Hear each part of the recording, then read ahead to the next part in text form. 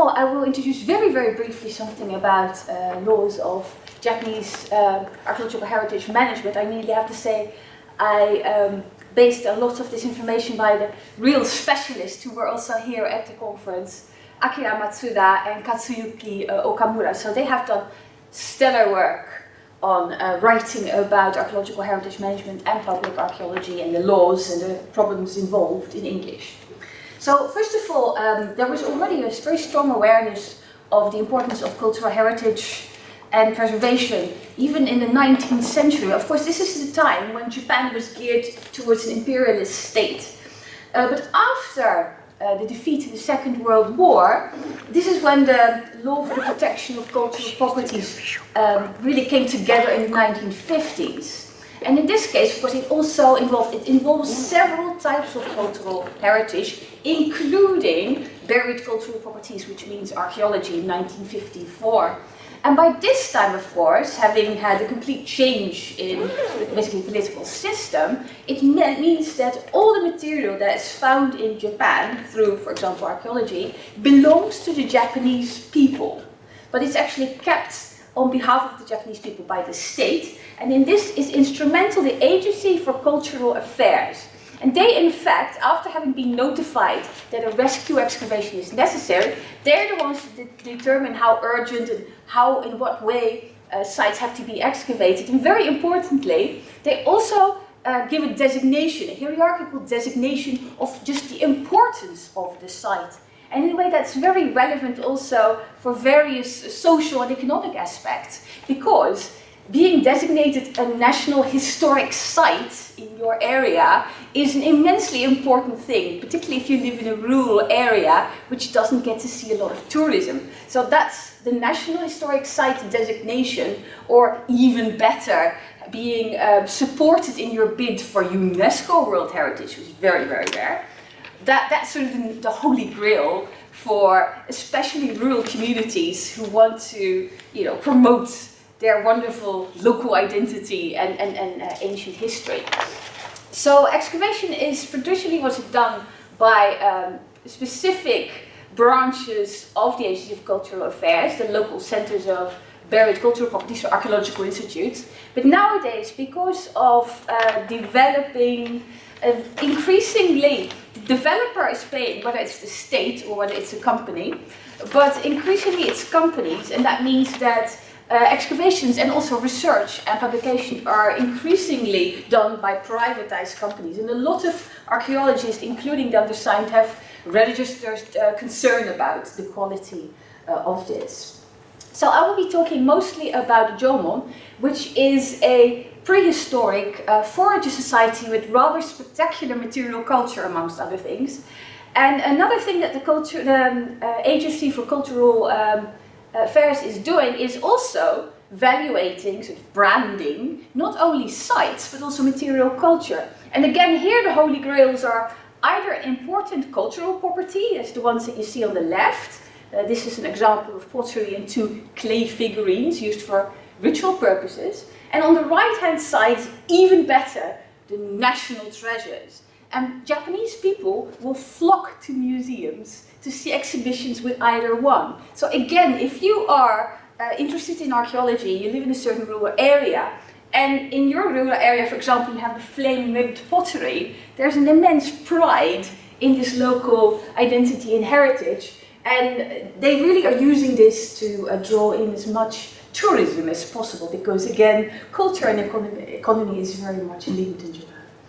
So just to show, this is one of those um, um, important national uh, properties clay figurine. And as you can see, the local, local area, which is a rather peripheral area in northern Japan, is really utilizing this image, so the representation of this material culture. And again, this is a Jomon example. I have to stress they're basically for every uh, cultural uh, and historical period in Japan. You could you could ask you could give similar examples. So this is the train station. So to go to the uh, public archaeology from archaeological heritage management, there, as the way I see it, there's various ways in which this can place. First of all, it's the archaeologist, the actual specialist. And of course, they have a duty, according to Japanese law, to educate the Japanese people about their heritage. This is one of their primary functions. So they might do this, for example, of course, uh, excavation materials might end up in spectacular exhibitions, uh, temporary or permanent. Uh, they uh, actually invite people to come and see uh, them at the excavation where they will have these site explanation meetings. And of course they will do a lot of outreach in terms of talks and symposia and workshops for kids, but also, uh, for example, aimed at elderly people. So that's the specialist uh, end, uh, and actually this is not even a complete list of course, it's just a few examples. But actually, um, in many cases there is an active involvement of local people as well.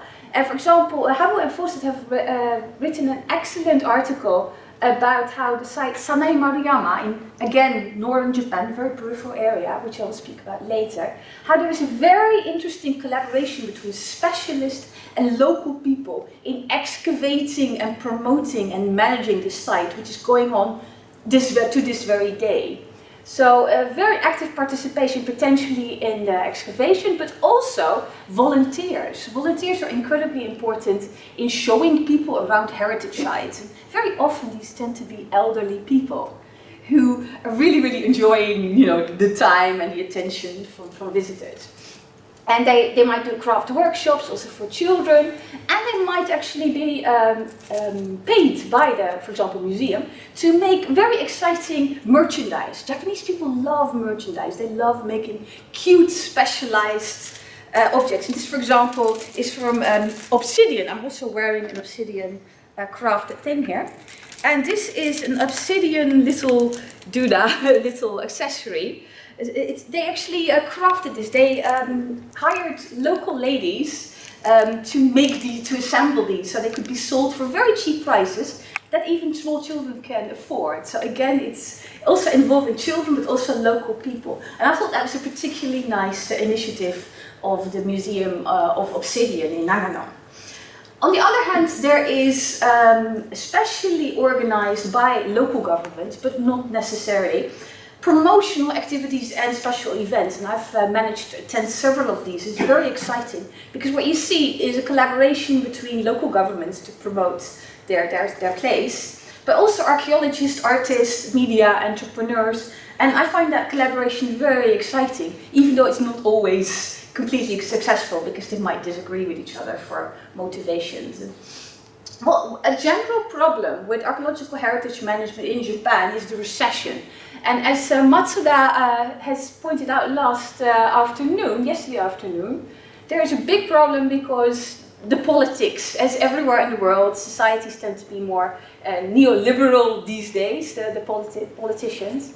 And also the Japanese cabinet also wants to make um, cultural heritage, including archaeology, more you know, financially uh, uh, uh, valid for them. So they actually really want to make, to make more money out of cultural heritage, which is a big problem, especially according to archaeologists, of course.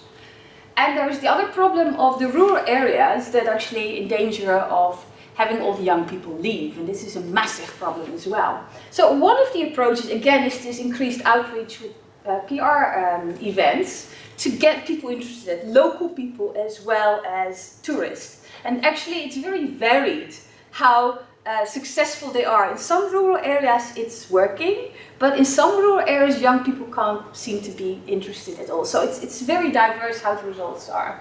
So uh, these uh, creative uh, collaborations, again, they involve archaeologists potentially, and or artists, uh, entrepreneurs, for example, and if at all possible, they try to get the media involved as well.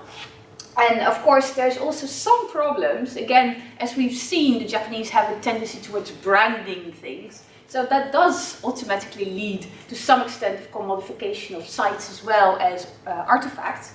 But also, uh, potentially, and several people have pointed this out, like Fawcett and Yoshida and Ertel, very recently, is that potentially, and in general not even that much, but in later periods very much so, there's a potential for manipulation in identity politics, and, and, that could potentially, lots of archaeologists are worried about this because they want to do the right thing, obviously.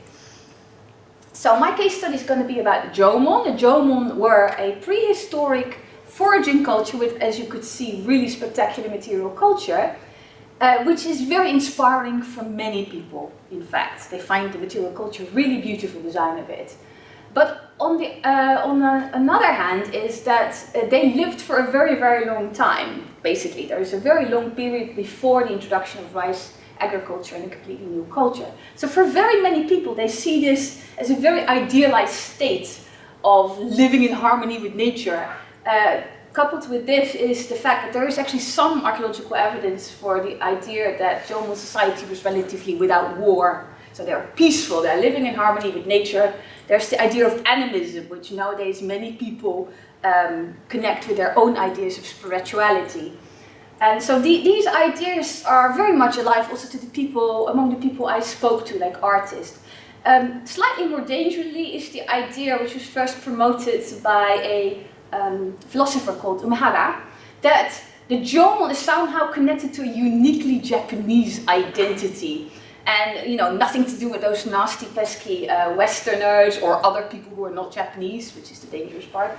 And a lot of people, especially on the right, side of politics, they have this uh, you know, rejection of globalization and of cultures that are not their own.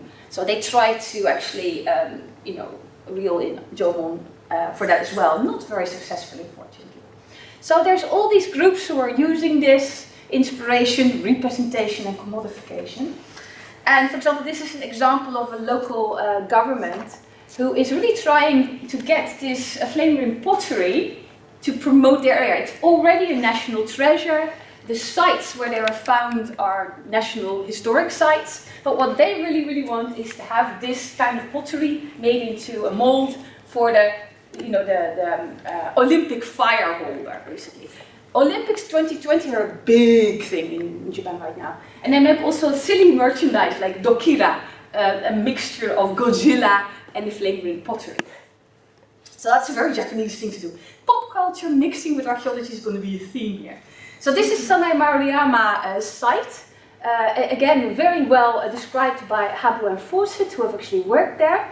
This site was discovered in 1995. It was supposed to be a baseball stadium. But people got so excited about all the unique features and uh, huge treasure troves of information about Jomon that were discovered there that it was made a National Historic Site. And actually local people were very, very happy and excited about this.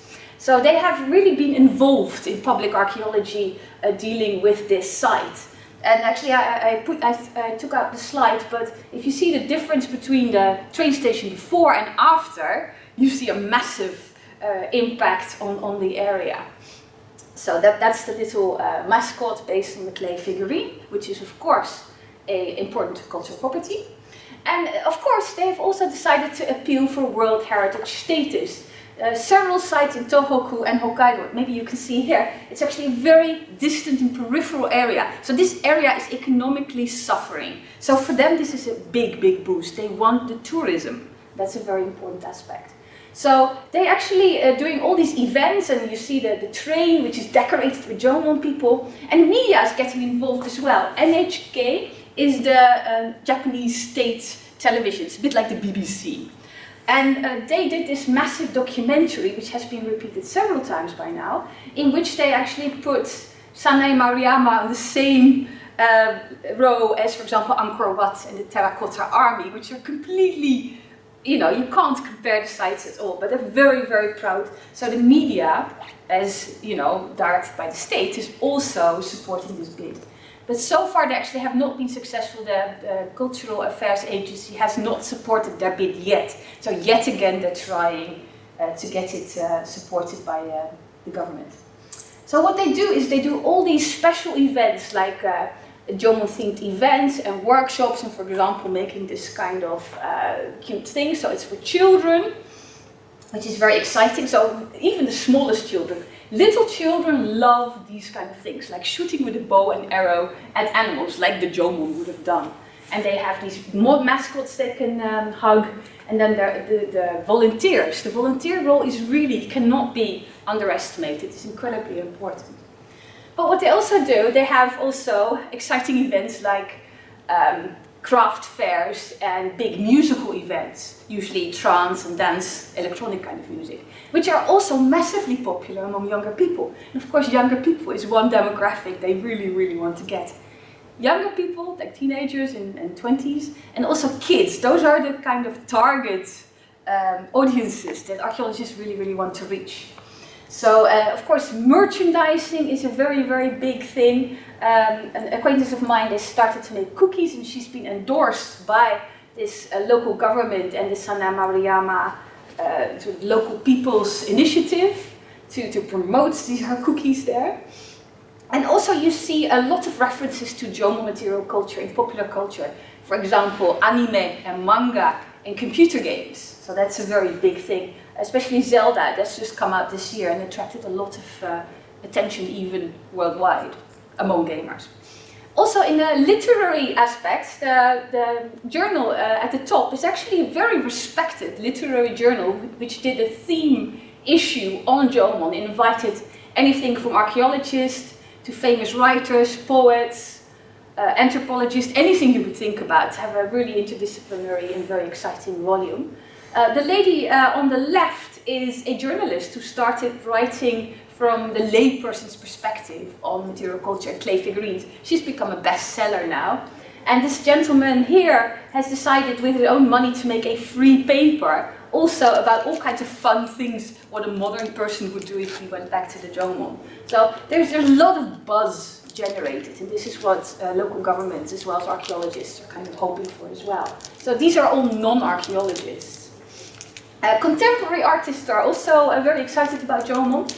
It started with Okamoto Taro, a very famous artist from Japan, who in the 1950s said that Jomon was fantastic and it, it was really a quintessential part of Jomon art. And ever since uh, he's created a buzz in the art world about uh, Jomon ceramics. For example, one of the older generation uh, who really deals with the Jomon themes also uh, went to Hokkaido to, uh, because you see the Jomon are not directly ancestral to the Japanese people, that's the irony. They have some uh, genetic overlap with Ainu. So very often what people do is go to Hokkaido and learn about Ainu culture because they think that that will somehow um, you know, show them more about Jomon. Unfortunately, it hasn't actually uh, translated into more respect about uh, Jomon or, or Ainu uh, cultural issues in the modern day. Um, the younger generation is, uh, as you can see, very interested in pop culture. So they mix uh, any, any kind of um, motivations from you know all these these stereotypical ideas about Jomon that I showed at the beginning with pop culture, as you can see. Uh, they actually having exhibitions uh, in not only in Japan, but uh, for example in America. They just went to Malaysia, uh, so they're, they're doing rather well. So this is a younger generation.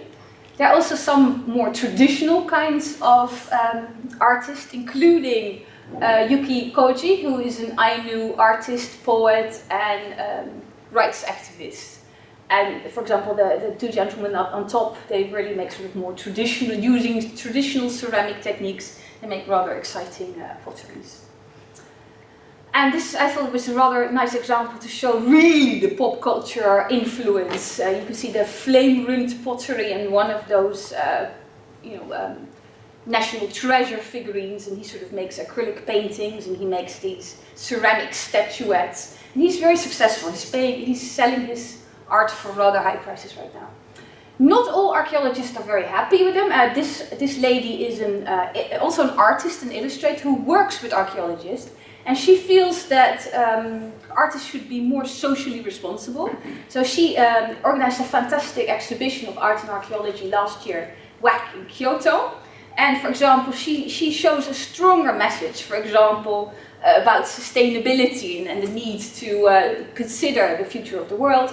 Also, she deals a lot with children. She wants to, for, for children to engage with archaeology and the arts, and she's, she's also painted some really lovely uh, books uh, for children on Jomon, just to get them excited, but also to get them creative. So for her, it's not exclusively about archaeology, but also about people, you know, connecting more with the creative sides.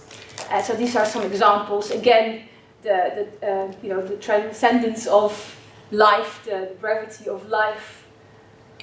So basically, Unfortunately, it really uh, depends. If you say, what is the social uh, impact of all these different events? It really depends on what you're looking at. Some areas have events that are massive successes, and other areas you notice that it's mostly outside people and not so much the young people that are involved.